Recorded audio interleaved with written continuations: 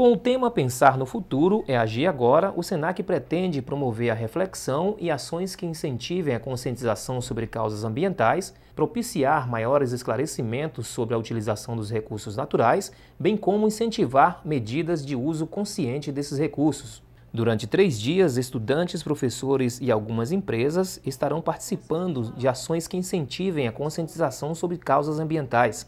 São ações, segunda, terça e quarta, onde todas as turmas estão participando, né, direto ou indiretamente das ações pedagógicas com relação a esse assunto que é o meio ambiente. O que em nossas ações no trabalho podem estar afetando o nosso meio ambiente. Fazem parte da programação palestras, degustações de alimentos, distribuição de panfletos com dicas de sustentabilidades, além de visitas a empresas da região. A Semana Sustentável é uma ação do SENAC realizada em todo o país simultaneamente. Todo o SENAC Maranhão e Brasil né, está com ações do SENAC é, Semana do Meio Ambiente.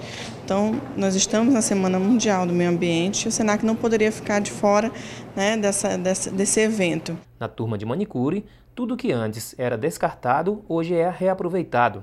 Aqui, os vidros de esmaltes vazio foram transformados em porta-retratos, jarro de flores, enfeites de mesa e até brinquedos, como essa boneca feita pela aluna Amanda Monteiro. Quem trabalha na área de manicure, ela usa os vidros de esmalte e joga fora. Sempre usa, secou, jogou fora. Aí com isso a gente está aprendendo que a gente pode reutilizar, fazer bonecas para colocar no armário, fazer decorações para colocar, para expor para as clientes verem. Foi um aprendizado a mais, né, que nós conseguimos transformar embalagens, né, é, recipientes de esmalte e outras embalagens também, que poderiam ser recicladas, utilizamos para fazer é, inovações. Na sala de aprendizagem e serviços administrativos, o desafio foi a reutilização de papéis. Aqui, os alunos foram a algumas empresas coletar material que, depois de reaproveitados, vão voltar aos locais de trabalho como bloco de anotações.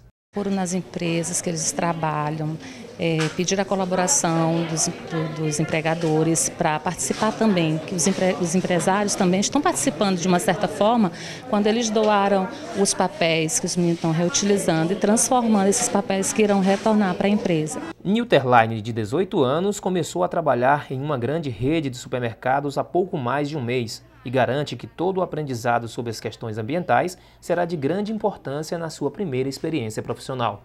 Está sendo muito boa porque a, o aluno ele vai participando, vai aprendendo, né?